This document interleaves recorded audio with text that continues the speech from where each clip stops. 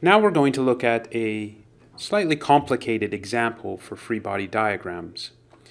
And in this question, we are given a beam that is pinned, but that pin connection is welded. So it actually behaves like a cantilever or fixed boundary condition.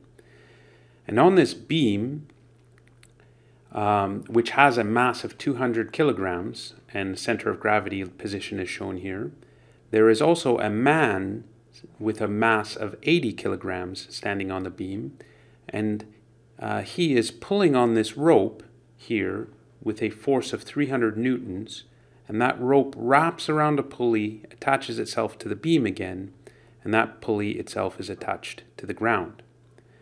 And we are asked to calculate the force and the moment that it will occur at the welded pin in order for this system to be in static equilibrium. So we're going to analyze this system by uh, first making a free body diagram. So we'll make a free body diagram. We will cut the beam here from free it from this support. And we'll have to put the reactions of the welded pin there. And we're going to cut here through the rope here at the bottom. Okay, I've written down here the givens from the problem description. So the mass of the beam is 200 kilograms, the mass of the man is 80 kilograms, the force the man is pulling on the rope is 300 newtons, and gravity is 9.81 meters per second squared. So now we're going to start by drawing our free body diagram. And we have to uh, first establish a coordinate system. Then we will draw our body. So we cut the beam at point A, where the pin was and at the bottom of the pulley, and the man is still on the beam. Uh, now we have to consider the loads acting on this system. We have the mass times gravity of the beam itself. We have the mass of the man times gravity itself. Then we have a force in this rope of the pulley, and because it's a rope, it has to be a tensile force Mm-hmm. and we have at our pin connection at A, it is fixed in translation in the x and y, so we will have a reaction AX and AY. And it also, because it's welded, the pin can't rotate, so we will get a moment at point A in the z direction. Now if we look at this, we have AX, AY, MAZ, and F as unknowns because the tension and he's pulling on the rope with 300 newtons, F is not 300 newtons. Um, so we have four unknowns, but only three equations. So what can we do to, um, to bring down the number of unknowns?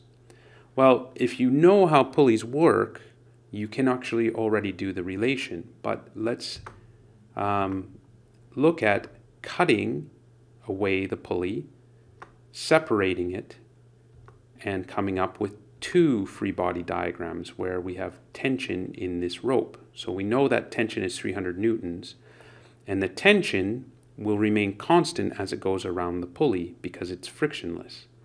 Now you can prove this to yourself if you take sum of the moments for this free body diagram around this point, we get this tension times the moment arm, which is the radius. So tension times radius creates a clockwise, and then this tension times the radius creates a counterclockwise. And so that sums to zero. So T has to be equal to T in a frictionless pulley.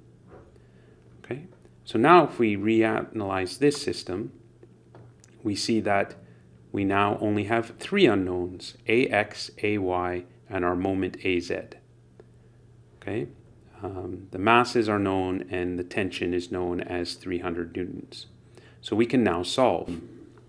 Now first I will look at sum of the forces and we'll do sum of the forces in the x direction and I'll use the right direction as my positive reference.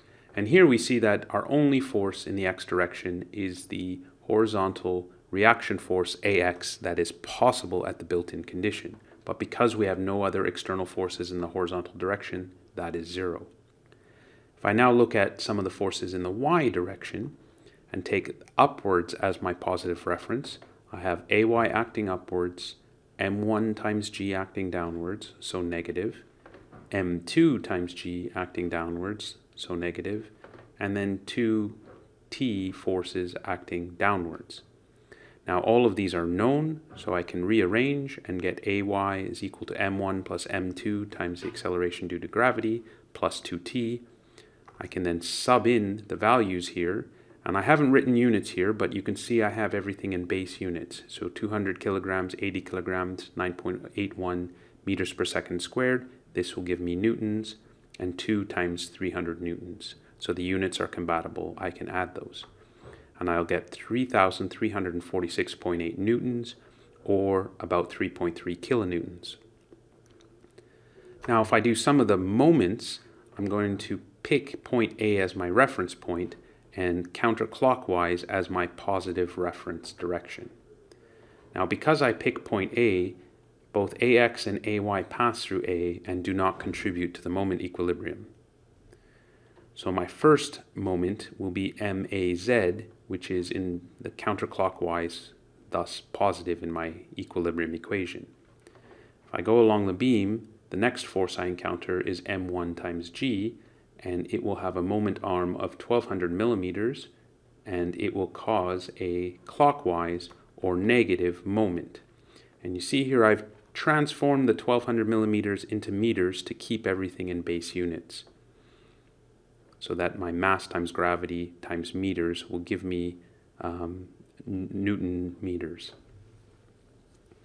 Now if I continue to travel along the beam, I will hit the person and there is a mass 2 times gravity with a moment arm of 1.2 meters plus 0.6 meters, which will be clockwise, thus a negative moment.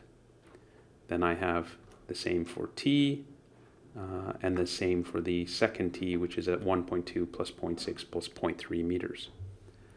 Now, of course, this is an equilibrium equation, so all of that has to sum to zero. So I can rearrange this. All of these are negative, so the moment becomes the sum of all of these as positives. And here I've substituted in all the numbers. And again, I haven't written the units here, but I've ensured that everything is in base units, so my result will come out in Newton meters. So I'll get 4.937 times 10 to the 3 Newton meters, which is 4.9 kilonewton meters. Now, did we actually answer the question? If we look back here, we have components. So in a way, we've, we've answered it, but the question asked us for the reaction force and the reaction moment.